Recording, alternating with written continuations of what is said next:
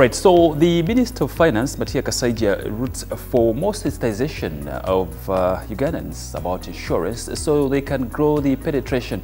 Now, we know for a fact that despite all the initiatives, uh, the insurance industry still lags just about below 1% penetration rate, but there is hope according to the regulator. Now, the minister was speaking during the signing of a host agreement between the government of Uganda the Insurance Regulatory Authority and ZEP-RE PTA Reinsurance Company in Kampala, which should help Uganda benefit more in terms of insurance, but across the COMESA area. That is something that we're waiting to see because the regulator did actually tell the minister that we are doing enough to have more Ugandans get onto different policies that the insurance companies offer.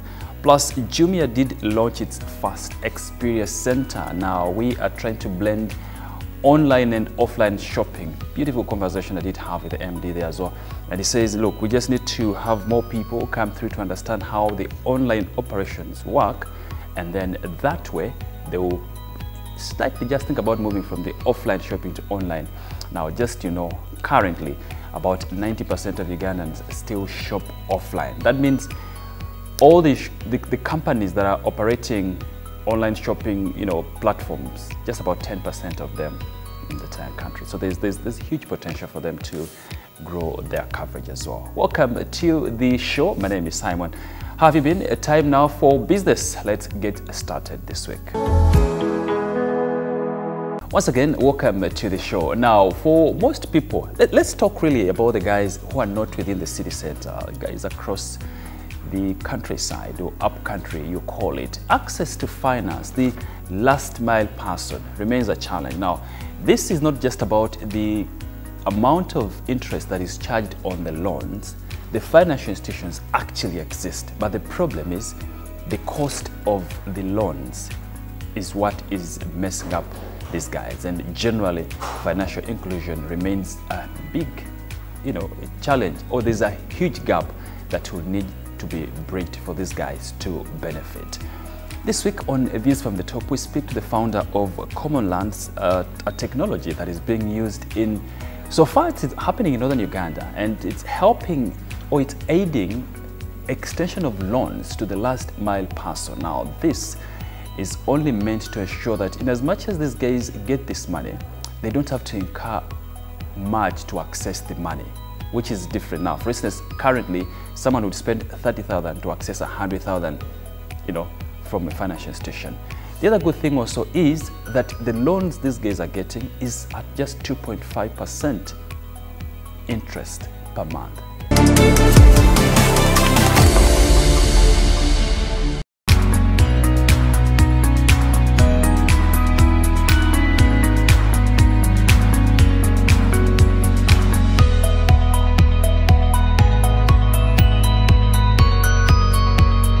Hi, my name is Darius Golkar, and I am the founder and CEO of Common Lands. And Common Lands is a technology company that has developed a product that connects remote last mile communities with financial institutions and microfinance institutions that have found it difficult to enter into those communities. So what we call it is last mile credit delivery, as probably your audience has heard.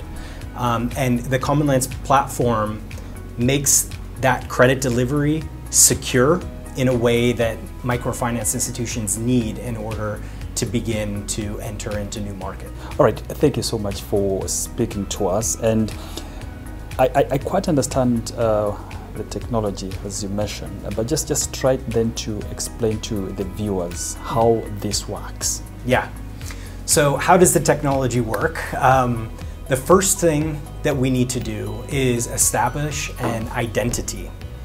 So one of the things that you need, we need to remember when we're working with these communities, predominantly they do not have smartphones. Mm. Predominantly they're feature phone yeah. dependent. That will change over time. So the technology is built in a way that one smartphone can be used to register an entire community without risking the privacy of the individuals that are participating in the system. Um, and so, how does it work? An individual will go to an agent or someone that has a smartphone and knows how to use the technology to register an account. You type in your phone number. So the only thing that you need is a SIM card. You type in your phone number and you get a one-time PIN to verify that that's your phone number. Then we take a photograph of your face and we link your face to the phone number. And this is important because one of the challenges in, when you're working with remote populations is this idea of how do you have accountability that the person that you start a relationship with is the person that you're going to be continuing the relationship yeah. with. And so the way we view the photo and the phone number is like think of a passport photo or a government ID. You take a photo and that photo is attached to your ID. We take your photo and we attach it to your SIM card. So even if you lose your SIM card, no one can take your identity on the system because they don't have your face. Then we attach that identity to a plot of land. That's why we're called common lands. Okay. And the way that that happens is uh, you just draw using GPS and satellite imagery, you draw your plot of land on the system, whether it's uh, you have the ownership rights, the renter uh, rights, or right of use. It doesn't matter. The key thing is that you cannot exist on the common land system without having your identity attached to the land. Talk to us a bit about how or what success you think you've attained as common land yeah. in, in Uganda, but of course. Absolutely. Yes. Last, I've been here three times since last August. Um, last August, August 1st, there were zero plots registered in Uganda. Zero. Right now, we have 2,200 plots registered on the system. The first claim chain was completed in two weeks. In uh, November, late November, our first loans were issued, and we now have 150 outstanding loans. These are loans uh, in a community that has not had any lending products available to them outside of this, this pilot that we're doing with Nile Microfinance and CARE. The only available options to these communities were either their lending circles, their SACCOs, um, CARE calls them uh, village uh, savings and loan associations, or lending sharks, which I'm sure you and your viewers uh, are very well versed in, mm. which is, uh, I won't even talk about the detriments of that yeah. sort of system. So, what we've done here is groundbreaking work, and you don't have to take my word for it. You can talk to our partners on the ground. You can talk to Nile Microfinance directly, and they're the ones who will tell you. They, uh, they're quoted. I have quotes of them, and there are videos of them talking about the, the innovation. Without the technology, none of this would have happened. And because of the technology, the good work that the good work that organizations are already doing in these last mile communities has now been elevated. Um, and so to your question, you know, talk about some of the successes and stuff like that. That's one of the things I'm really proud about mm. Is that now we have 150 people and it's only growing every week that now have been able to access the cheapest loans anywhere in West Nile. So let's let's talk about not only giving them access to credit where they had no access before, because of the use of the technology and the driving down of the costs, we are giving loans at 2.5% a month interest for six months. So a total of 15% over 15 months. 2.5% a month. Before Common Lands was introduced into those communities, people were paying 25% for one month. So because the technology is in place, we've reduced, not only as we, have we increased access to credit, mm. we've decreased the price to access that credit by 10 times. And not only that, the members of those communities that had no access before are now getting the cheapest loans anywhere in Arua. You can't find a cheaper loan in Arua City. Um, according to my lending partners, that is the cheapest rate you can find anywhere. Okay. So, um, to tie it back to the technology, the efficiencies that technology provide yeah. translate directly yeah to not only access but also reduction of costs that makes it even more accessible. Okay, all right, because I said so. Financial institutions have innovations, and and some of their innovations still seem costly. Yeah. Do you think uh, in the long run we could see partnerships with common lands and these financial institutions, or are you scared that the interest rates that these institutions charge might, you know, deter the, the, the possible clients that common lands has already put in the system? So, at the end of the day, the markets determine the rates. And one of the beautiful, beautiful things about capitalism and open markets is that the competition drives down rates. Yeah. So if you have a platform like Common Lands that's opening up a new market, think about this from a microfinance mm. institution's perspective. What are they trying to do? Ultimately, they're trying to increase their bottom line. Okay? How do you increase bottom line? You you layer on services to existing clients. You make your current products more efficient to lower your costs so you make more of a margin. Mm. And or you access new customers. Common Lands is doing all three of those things at once. Okay? Yeah. And so what is that going to do? That's going to drive adoption of the technology.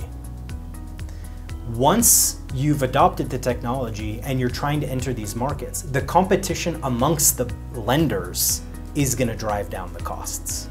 And if one organization has already proven that it's profitable to lend at the lowest rates in the region, no one is going to be able to come in higher than that uh, because the individuals are going to make a determination for themselves. Yeah. If you're given the option to pay 10% a month and 2.5% a month, where, where, are you going to go? Mm. You're going to start with the 2.5% a month. Yeah. It just yeah. makes more sense. Yeah.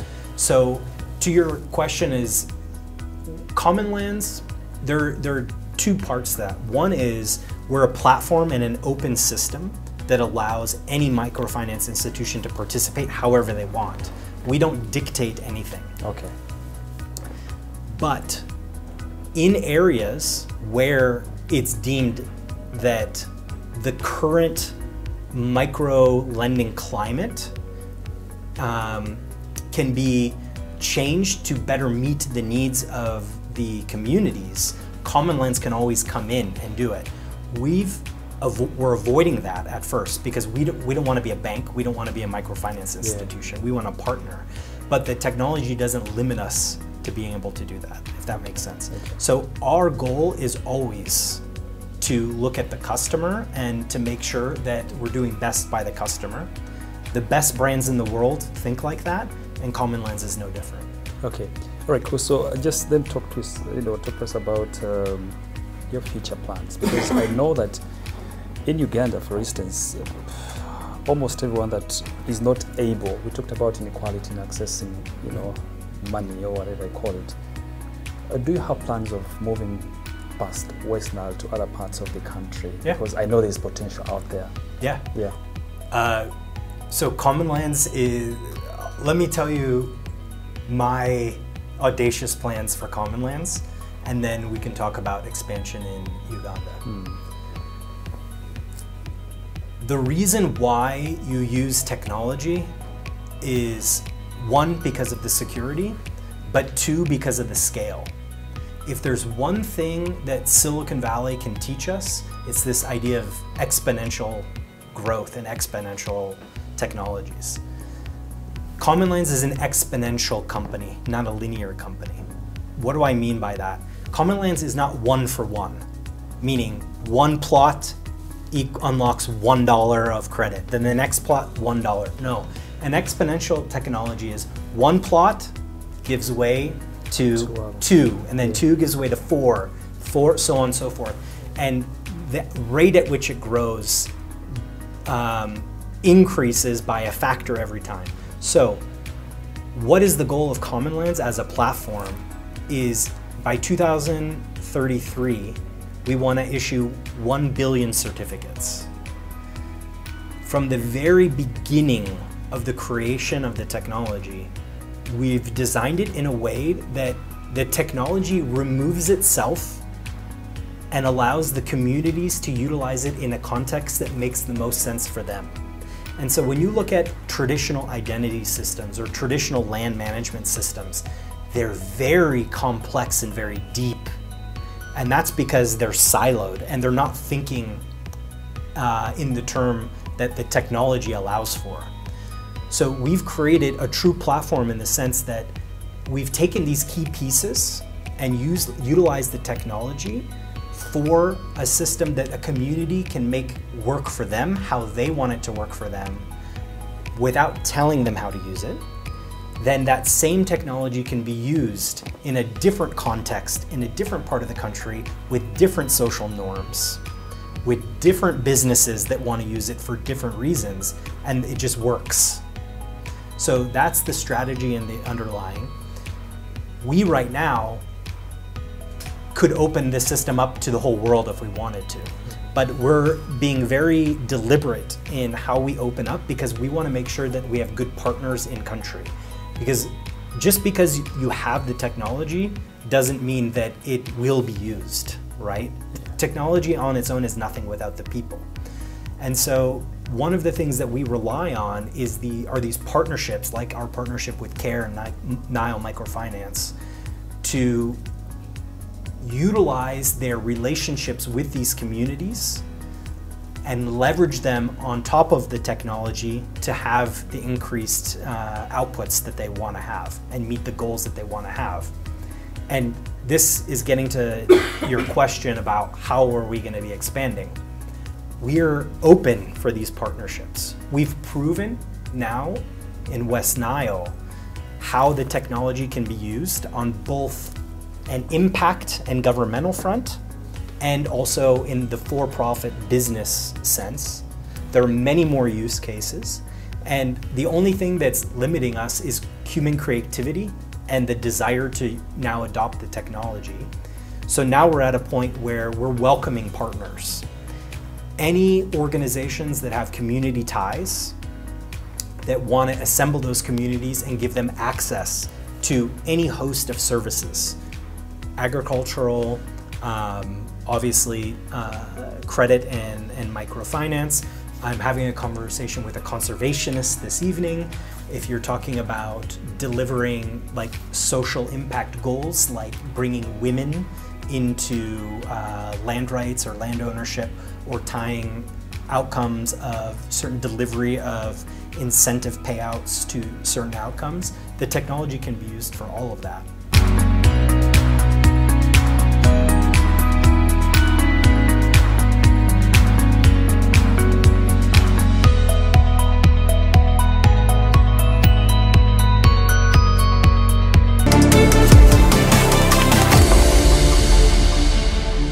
So there you have it. If the conversation is going to be around, I cannot access money because I don't have what to give to the banks, then how about we just use GPS to map your land? That means we need to know where you stay, where is your homestead, who is your one, two, three, four, five neighbors, okay? Are they taking loans as well? So if they are, then we're able to track you guys through the system. We know, we, we map you and we know that in case this person A fails to pay, we can go to B, C, and D, and they will help us get that person because they are within the same, you know, like you'd call it coverage in the system. It's something that is already happening in northern Uganda and it's, it's changing lives of people that side as well. Just imagine getting a loan at 2.5% interest. That should be something for small businesses to thrive on. Yeah? time now for a quick break of the program with me, Simon. Stay with us. A lot is more to come for you that is learning just how to grow your business. We've talked about so many things, including business sustainability. We'll see you after the break. Stay with us.